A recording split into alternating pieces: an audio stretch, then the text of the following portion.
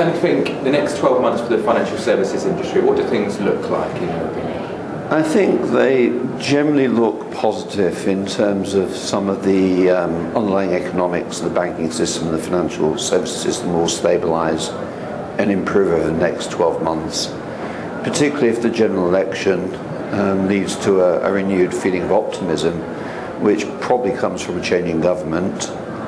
Um, the stock market is more difficult to predict because the stock market has already discounted a fair degree of recovery. So what the stock market do it does is, is sometimes law unto itself, and I'm, I'm much less confident of how that will perform.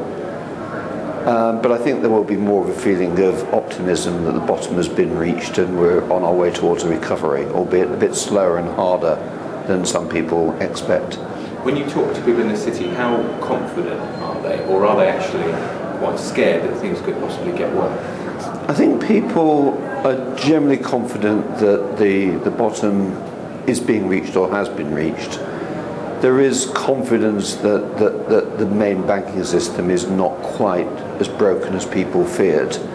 But there is um, there's a worry about the sheer amount of debt that the country and indeed many consumers have taken on, and uh, the debt overhang is something that really worries people about how it will be eradicated.